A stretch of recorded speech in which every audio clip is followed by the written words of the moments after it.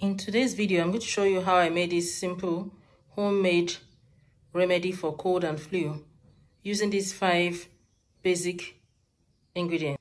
So for the ingredients, I use some black pepper, some cloves of garlic, some turmeric, fresh turmeric, onions, and cinnamon sticks.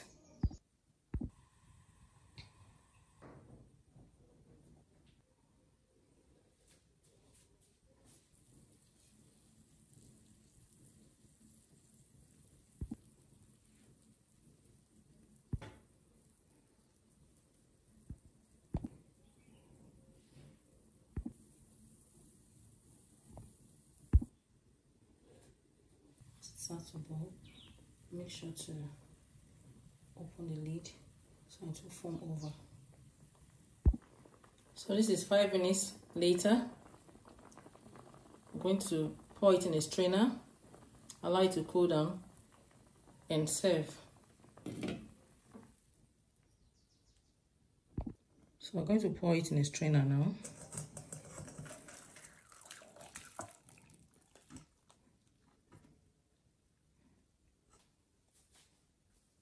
So make sure not to throw this away because when you're making your next batch, you just add little fresh ingredients to it to make a fresh batch.